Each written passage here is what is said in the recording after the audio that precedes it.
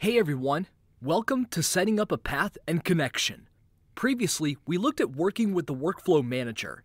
Now we'll be setting up a path and executing the workflow that we create. We'll be learning how to define the properties of our source and target. Before we execute the workflow and make data flow from source to target, we need to define some properties in the session task.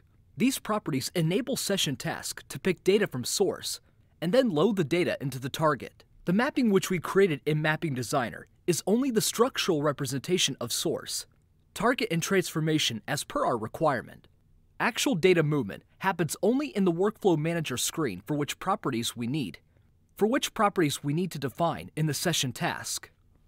To define the properties, select the particular workflow and identify the session task, through which you'll be executing mapping. Double-click on the session task to open the Properties windows. You can see there are various Properties configuration objects and other components, which are present in Session Task. We'll see all these options later. Now click on the Mapping tab in Session Task. The Mapping tab specifies source, target, and transformation level information. The Mapping tab of the Session Task lets you define properties for source and target. First, we'll define the properties for source.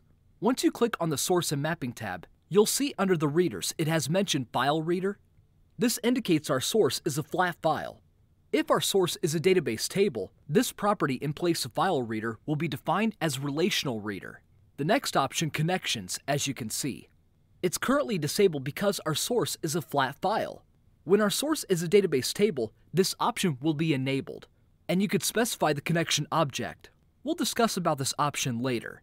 Under the Properties option, scroll through Properties and you'll see an option called Source File Directory.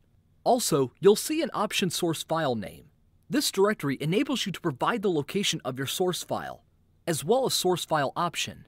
And this option gives you space where you can define the name of your source file. Similarly, click on the target.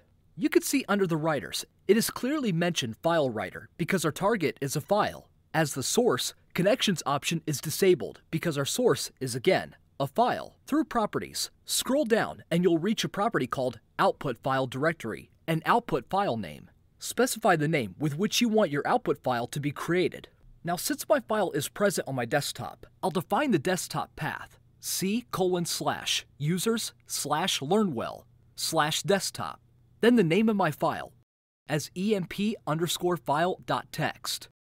Similarly, define target location where your target file you want to be generated. The default output file directory, pm target file dir, is the default target file directory. This is what Informatica creates while the installation is done. We'll discuss about this option later. I define my desktop as the output file directory, and I'm defining as my output file name as emp underscore file underscore target dot text. You can define any extension of your liking, such as .text, out, XLS, CSV, XML, or any other extension you want your output file to be created with. In this video, we learned how to define the source and target path our connection in session task in workflow. We also saw how to use the generate workflow option from designer screen.